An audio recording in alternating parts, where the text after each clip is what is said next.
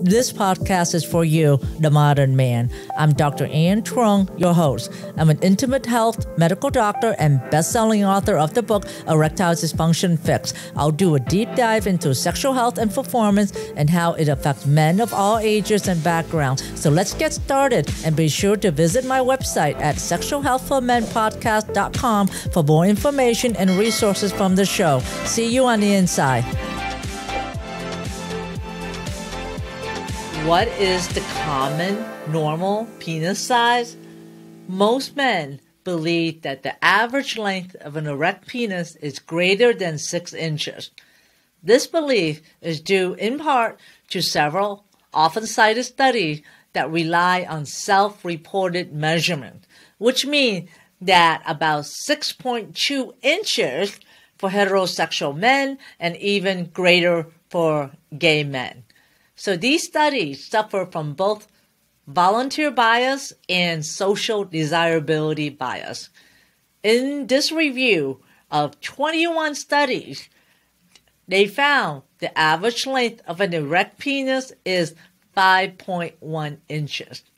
In another study that looked at 15,000 men, the average measurement of a man's penis in a flaccid length is 3.61 inches and erect penis is 5.1 inches.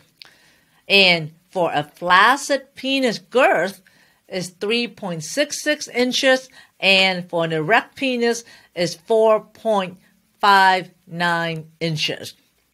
The length of a penis when flaccid was not a predictor of its length when erect. So how do you measure your penis size? Well, you measure the length from the top of the penis to the tip of the glans. To the top of the penis is where it connects to your pubic bone, and the tip of your glans is the round part at the end of your penis. Now, make sure you compress any fat in front of the pubic bone when measuring. Also, don't include additional length related to the foreskin. Measure the girth around the base or the middle of the shaft. The decision to try to increase the size of your penis should be made carefully with a consultation with a urologist or with a sexual health expert. The Journal of Urology study recommend that only men with a flaccid penis length of less than 1.6 inches or an erect penis of less than 3 inches should be considered a candidate for penile lengthening surgery. However, the penile lengthening surgery is very risky. Bigger is better sticks in the head of many men worldwide. 45% of men reported being unsatisfied with their penis size.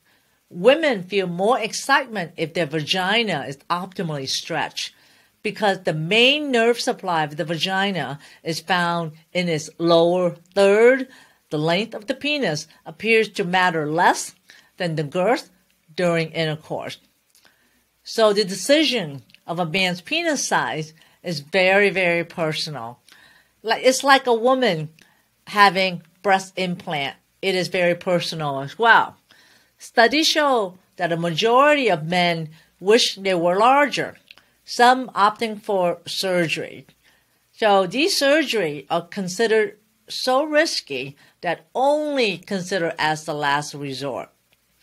However, of note, many men seeking surgery have normal sized penises.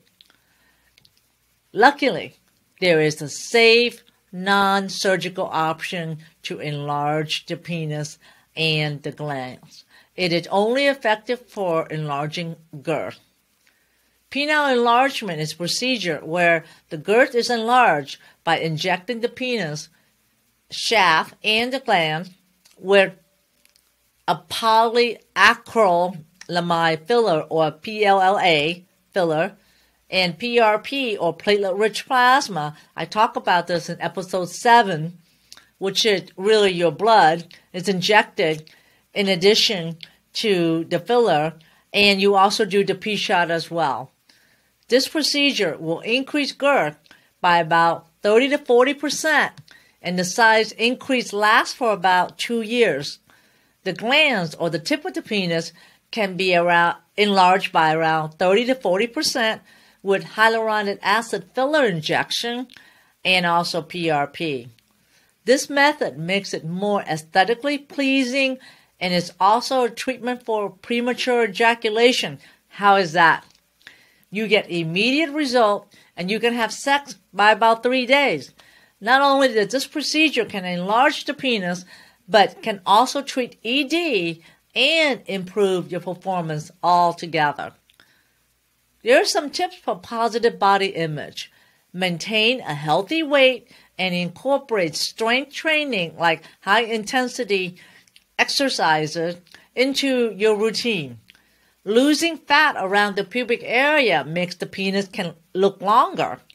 If you look healthy and feel fit, you may feel better about yourself. Don't become consumed by the penis size. You can be a satisfying sexual partner regardless of the size of your penis. Don't compare yourself to others in movies and social media.